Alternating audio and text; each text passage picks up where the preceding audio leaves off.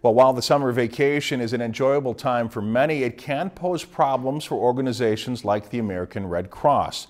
Blood donations are typically lower in the summer. Lacy Monteleone is live in the studio now, and she spoke with one with the American Red Cross at one local blood drive to find out why, and she joins us now with more. Lacy, what can you tell us? Well, Dennis, declines in blood donations do tend to occur during holidays and during the summer. But since issuing an emergency appeal in June, Red Cross officials say while donation numbers are beginning to improve, they have not yet reached their goal.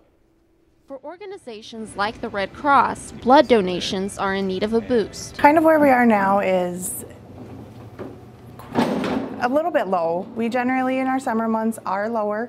We don't have, more people are vacationing. Gaebler says that right now they are just making it. If we had a few extra people at each blood draw, it would help bring the levels up a little bit higher, just so then we can have a little bit more of a cushion so we're not just going from day to day. Every day, the Red Cross must collect about 17,000 pints of blood. During the school year, donations at college and high school blood drives account for about 20% of donations. During the summer, those donations drop. Generally, summertime, the kids are, or the students are working and doing stuff like that where it's not as accessible for them to come in rather than when we actually go to the school. For those blood donors that do manage to make it in the summer, they say blood drives like this one are just too important. I haven't had a need for it myself or a family member yet, but I assume someday that could happen, so that's why I show up here. While certain blood types do go quicker than others, the Red Cross is encouraging all donors to give. Right now, we need every blood type.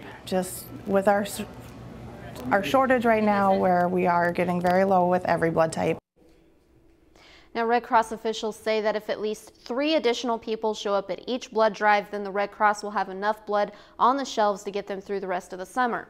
So for those looking to get a break from the summer heat, you should visit a local blood drive and bring a friend. Dennis. All right, good advice, Lacy. Thank you. For more information on where other blood drives will be in the area, you can visit www.redcross.org.